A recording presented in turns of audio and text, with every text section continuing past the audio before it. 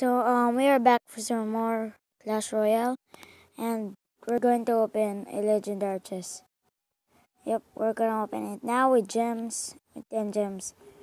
And uh, this is my Smurf, and uh, I know it's probably a bad idea open, opening it now, but I'm super excited and uh, yeah, if the Inferno Dragon her because uh, this is my Smurf, and uh, yeah, my other account and this is like yeah I have two logs so um yeah okay.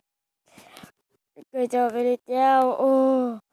Okay so if I get the log round then I'm going to be happy. Because my because my cards are going to be complete. I'm going to have the Inferno Dragon baby dragon and like the tombstone and like the uh, like uh, mega minion and then the lava hound. Um, so if you get a sparky, then okay. Okay, so we reject. Yeah, okay. Now, yeah, I'm still in arena 7. I dropped down, which, yep, 24.15 is my eyes. I just dropped down. Okay. So, yeah, three, two, one, go! This makes me. Oh!